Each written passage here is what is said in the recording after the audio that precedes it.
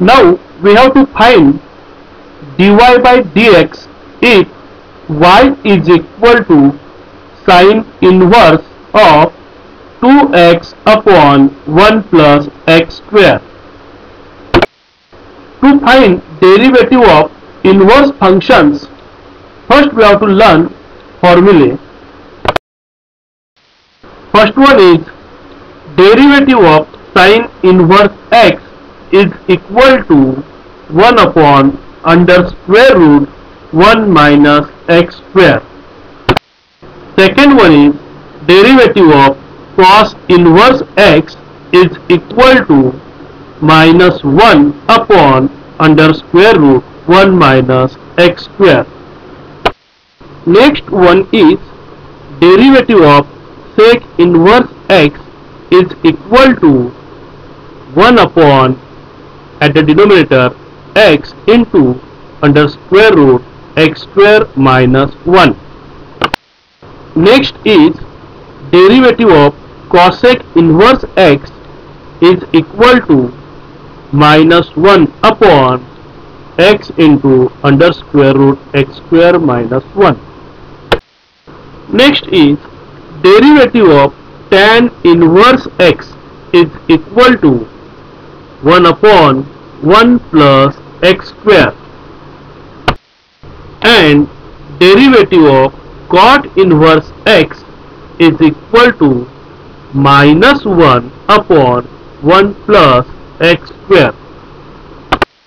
By using this formula, we have to solve derivative of inverse trigonometric functions. Now see solution. The given function is y is equal to sine inverse of 2x upon 1 plus x square. Now see the function in the bracket 2x upon 1 plus x square is matching with the formula sine 2a is equal to 2 tan a upon 1 plus tan square a. So to make this problem easy, we have to put x is equal to tan theta in the given function. Therefore, we can write theta is equal to tan inverse x. Therefore, y is equal to sine inverse in bracket substituting x is equal to tan theta we get 2 into tan theta upon 1 plus tan square theta.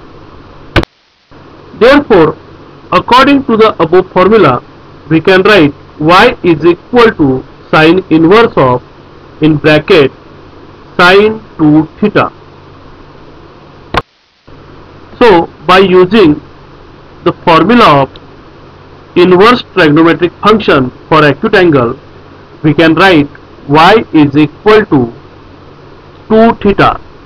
At the place of sine inverse sine 2 theta we can write 2 theta.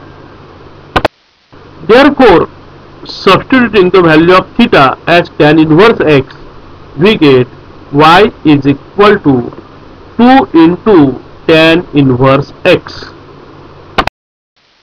Therefore differentiating with respect to x we get dy by dx is equal to 2 into derivative of tan inverse x is equal to by using formula we get 2 into 1 upon 1 plus x square that is 2 upon 1 plus x square.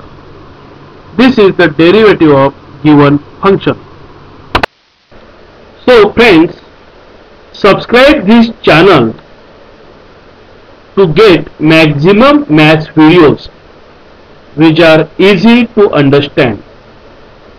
I am trying to upload maximum videos covering syllabus of all type of education and useful for all classes. This is Dinesh Katle Thank you friends.